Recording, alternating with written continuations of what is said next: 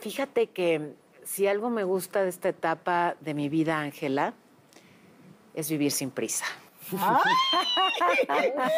Ay, sí. O sea, le gusta Eh, lento. Te diría, te diría que me gustaría descubrirlo, pero te tengo noticias. Ya lo ¿Ya lo descubriste?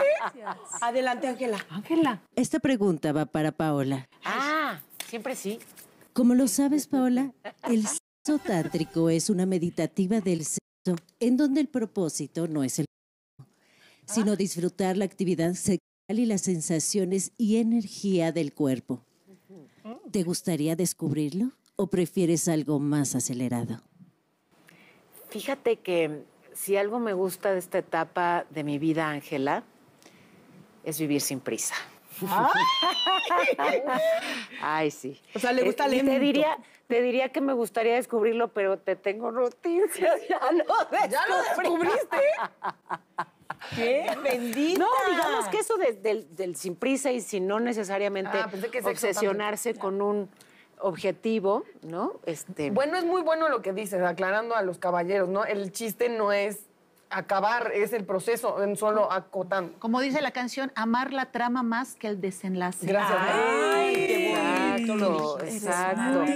O sea, dense su tiempo, chicos, no la caguen. Bienvenida Fanny D'Angelsa, Gracias. angelóloga. Ay, qué bueno que estás con nosotros para hablar de Orgasmos, no, no es cierto. espiritualidad.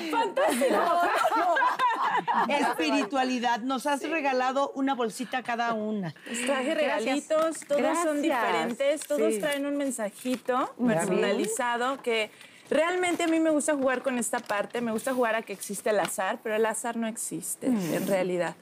Todo eh, tiene una sintonía perfecta contigo, todo se agrupa y se alinea en una sincronía universal que tú a veces no te puedes imaginar. ¿Sí, ¿Sí crees que existe una nueva espiritualidad?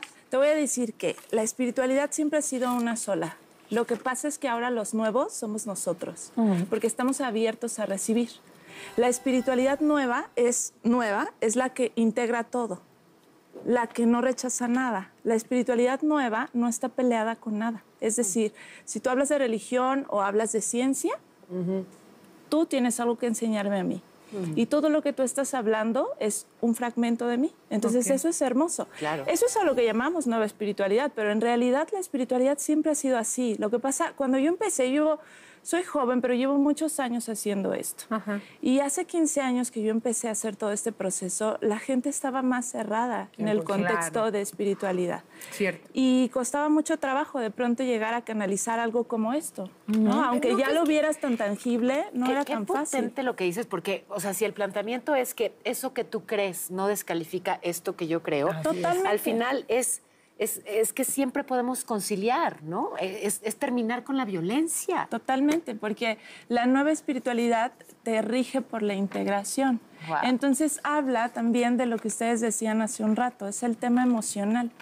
En el proceso espiritual real, que es lo que les digo, siempre ha sido así, Sí. no hay ninguna emoción que se quede fuera. Existen cuatro emociones base, A ver. que viene miedo, tristeza, rabia y la cuarta es el amor. Y el proceso de la espiritualidad viene de la sabiduría que tenemos todos, no de algo que puedes estudiar. De hecho, la espiritualidad no se estudia, se desarrolla. Todos somos seres espirituales. Pero, Claro, por ejemplo, no tú en tus redes sociales entregas todos estos mensajes que incluso muchos de ellos son a través de tus...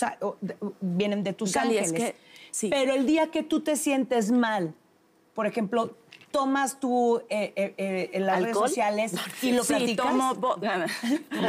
¿Tomas vodka? Tomo vodka. No, sabes, es que te iba a interrumpir o te interrumpí diciéndote eh, que la realidad de mis redes sociales es que todo eso es yo.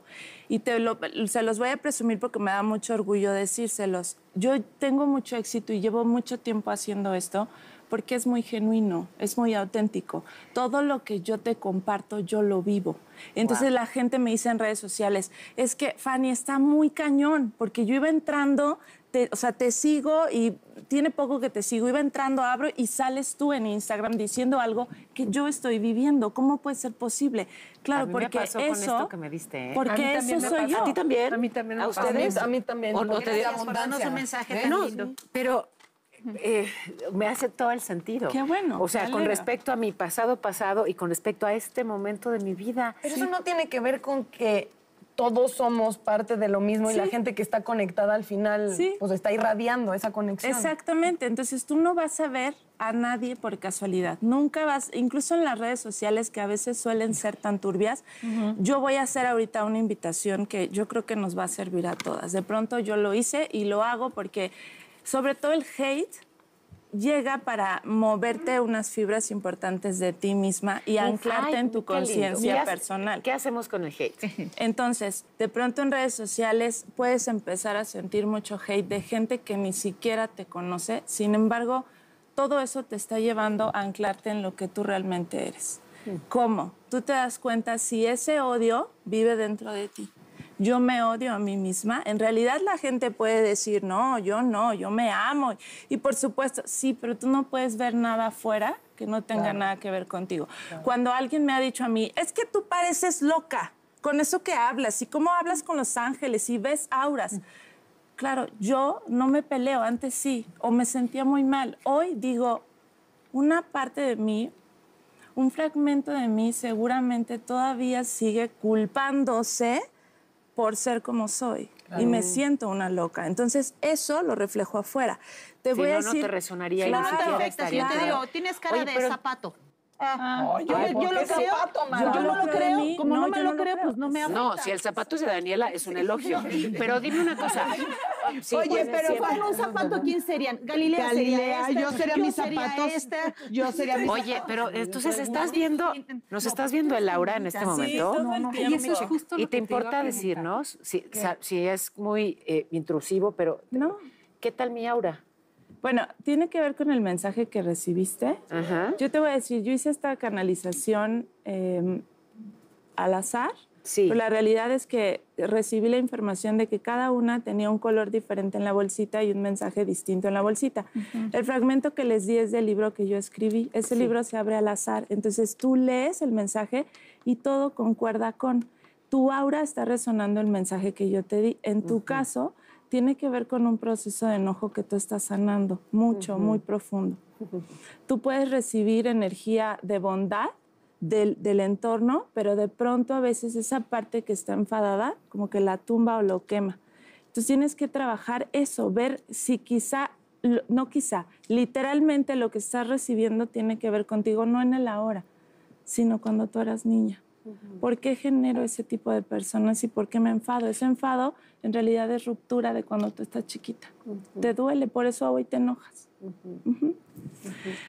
Hola, yo soy Natalia Telles y te quiero invitar a que si te gustan los contenidos de Unicable, por ejemplo, Netas Divinas, que es un programa que me gusta mucho, pues te suscribas a nuestro canal de YouTube y actives la campanita para que te lleguen notificaciones y seas el primero en saber cuando hay nuevo contenido.